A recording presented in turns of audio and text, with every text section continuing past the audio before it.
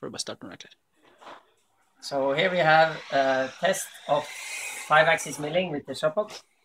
So we have a simple geometry representing the spindle that would move along three axes, which we can read out the coordinates of here. And then we have one rotational axis along the x-axis and another one on the z-axis of that axis again. So if you now start the simulation, you will rewind, and then you can see actually uh, a live simulation of the five axes.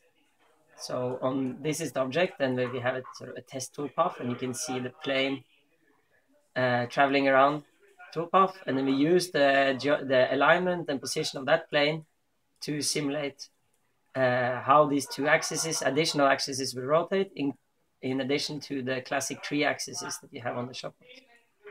So you can see actually here the numbers, the coordinates for the x, y, and z axis being displayed in real time as well as the amount of rotation in degrees being displayed in real time for the A and the B axis. And the really cool thing about the Shopbot software is that it supports having two additional software uh, axes in the default control software. You just you just uh, uh, push some buttons to tell the software that you actually have five axes, and then you need two additional stepper drivers and two additional stepper motors to control these two axes to do this, this simulation, we use uh, Grasshopper and Rhino. So here you can see the code. And this part of the code is actually the most important. This is where we, we take that, that plane and figure out if the plane is in this position, uh, how would the two axes need to be rotated, which you can see comes out here.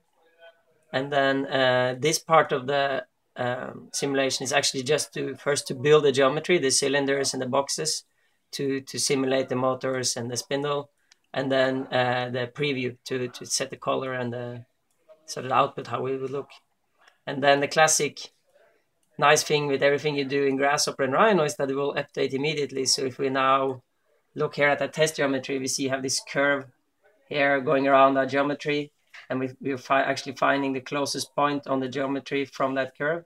If we move that to the outside, then all the curves will be on just on one side, and we will immediately have a new toolpath, and immediately you can see we get a new simulation here. So we can then play around with changing, you know, where does that curve get projected on the geometry, and then how would that affect the rotation.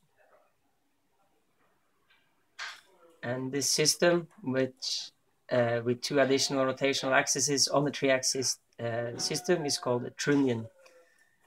So if you Google T-R-U-N-N-I-O-N, you will find some examples of how they use these two axes in the industry to do uh, three-axis metal milling and so on.